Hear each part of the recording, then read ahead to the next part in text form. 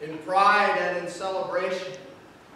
We commit ourselves and the resources that we have at our disposal to the mission of healing, to healing a world that is sick and hurting, to healing people who are children of God.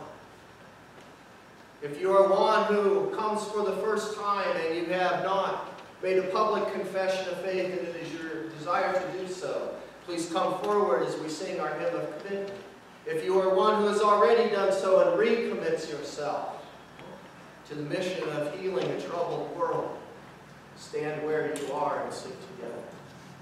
Please stand as you're able. And the song we sing together, the first, second, and fourth verses of number 668, for the healing of the nation.